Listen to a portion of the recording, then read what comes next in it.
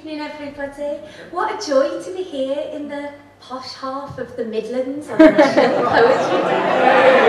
Actually, I was going to say the rough half of the Midlands, but I thought I wouldn't offend you. Happy National Poetry Day. As poets, we get so excited about National Poetry Day because hooray, at last, a day all about us. And I think sometimes we can forget that the rest of the world isn't quite so enamoured. I've got two little boys, and this morning I ran into them and I shouted, Happy National Poetry Day! And my eldest son, who's five, looked at me and said, Happy National Poetry Day. so, in honour of him, I'm going to start with a dreamy poem called Yam Yam's Diner. Yam Yams is quite a cheeky word for people from the Black Country. But this is sort of a road not taken poem in which I dream of jacking in the poetry and getting myself a little job in one of those greasy spoons you sometimes see on industrial estates and layboys in the Midlands. Yam Yam's Diner. Somewhere, beyond all this, I'm elbows down on the counter in Yam Yam's diner. Sunflower oil slicking my ponytail. Blue t-shirt. Ruby apron. Our Lady of Perpetual Succor. All a hard-working man might stoop to kiss the knuckles of. Stagger out in the diesel yellow morning, yearning for a taste of. Serving a little chick and bat. Tea slurry with sugar. Bacon with a sly crisp of skin. Bread thick as a dictionary. Flip to the entry. Clam to Jeff. And I'd love them, the men. In their overalls and boots you could stamp on the toes of. The tired ones, the trodden, the young, their chins still soft with bum fluff. I'd hold their dreams so tenderly, understanding that there's no heaven but this, a grease-spangled Portakabin, the rhyme their body yields when it's finally full. So get it whilst you can. By three, I'll be gone. Hmm. Tables white, shutters down, already feeling the afternoon sun on that soft, bare spot on my neck, the scent of fat and salt swinging like incense as I pull out the pins and let loose my hair.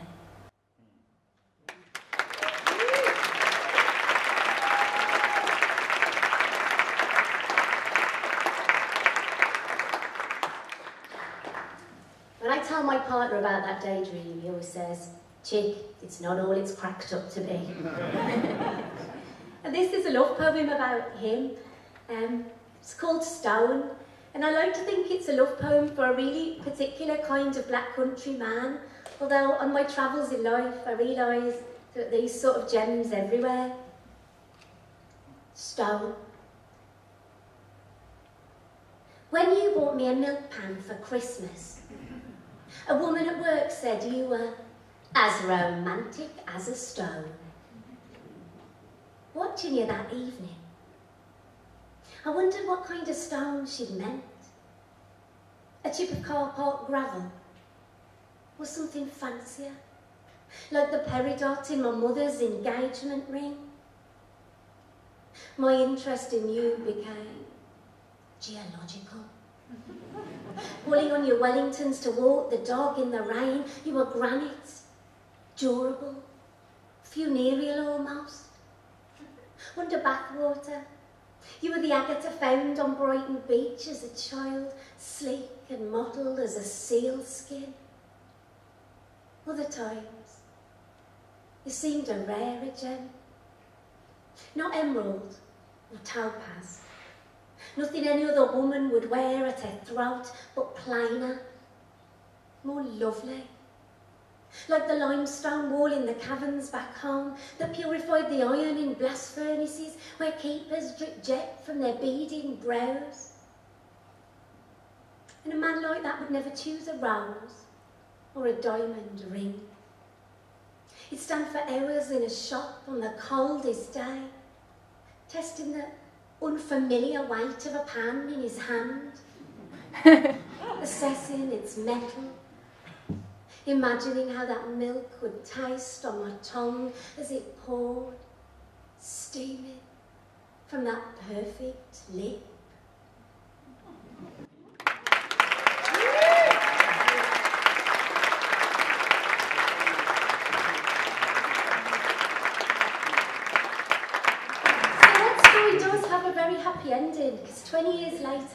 We're still together we've got two kids. Although I obviously, well, neither of us have learned anything because last Christmas bought me a glue gun for Christmas. now, I like crafting as much as the next person. Here's something else I like. I live in Birmingham, near to a beautiful wild park called Highbury Park, which is beloved by many kinds of lovers. And I wrote a poem about it, but every time I introduce it, I always feel compelled to say that this is the Highbury Park in Birmingham and nothing at all to do with football.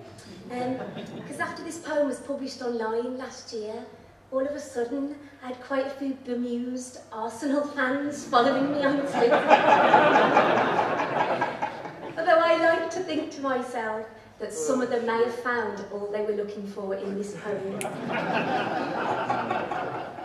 Highbury Park. In the woods at night, men are fucking amongst the gorgeous pinatas of the rhododendrons, the avenue of cool limes. By day I walk my son down the secret pathways, smell the salt rime of sex on the wind, condom, glowing with blossomy cum, knotted and flung. Bury it gently under the moss with my boots. I envy them, these lovers. Dark pines beneath their knees, the tarry earth alkaline with the desire paths of snails, fallen feathers in the dirt like warnings. I know those days of aching to be touched by no one who knows you. After he was born, I wanted nothing but the wind to hold me, the soft-mouthed breeze, coaxing my skin like the grass from a trampled field. How heavenly it seemed then. Light shafted emerald through wounded leaves, the woods a church, we its worshippers.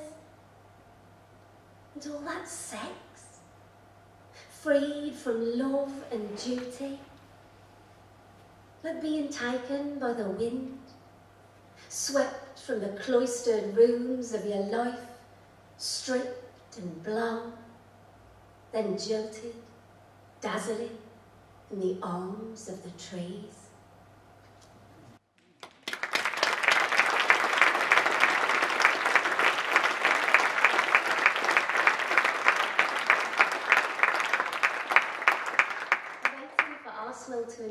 To be their official poet in residence.